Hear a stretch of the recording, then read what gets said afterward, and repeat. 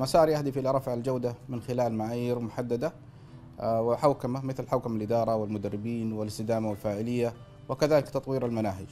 وهذا ينعكس بشكل كبير على الأكاديمية الوطنية للطاقة لضمان الجودة متطلبات سوق العمل وتطلعات القيادة الحكيمة والمجتمع ولتحقق أيضا رؤية المملكة 2030 حقيقة من اليوم الأول بعد التواصل مع الإخوان في المركز الوطني لتقويم واعتماد التدريب تم وضع خطة من إدارة الأكاديمية الوطنية للطاقة وفق خطة زمنية محددة وتم العمل عليها بالتعاون مع الإخوان في مسار وبفضل الله سبحانه وتعالى آه، عملنا على حسب الخطة المتفق عليها. من أهم النتائج هي تقويم الأداء المستمر الذي سوف يسهم بشكل كبير في رفع مستوى الجودة وموثوقية التدريب في الأكاديمية الوطنية للطاقة ليلبي بمتطلبات سوق العمل وأيضا زيادة الكفاءة والفاعلية في الأكاديمية. تم إرسال دليل كامل لرفع الشواهد إلكترونيا من قبل مركز مسار مما ساهم في سهولة رفع الملفات وفق ضوابط المنصة الإلكترونية.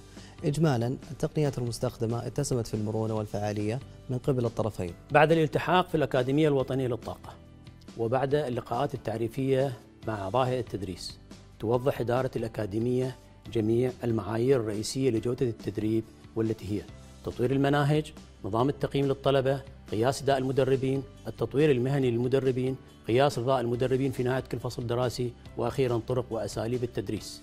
حيث أن اعتماد مسار أضاف هيكلية لتقييم ومراجعة وتطوير هذه المعايير وتطبيقها بشكل فعال في الأكاديمية الوطنية للطاقة.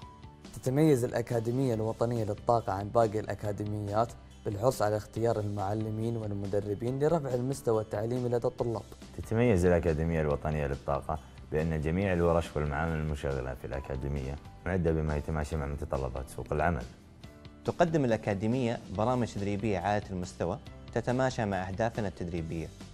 كما أن الحصول على الاعتماد يعزز من جودة وكفاءة البرامج المقدمة من قبل الأكاديمية الوطنية للطاقة.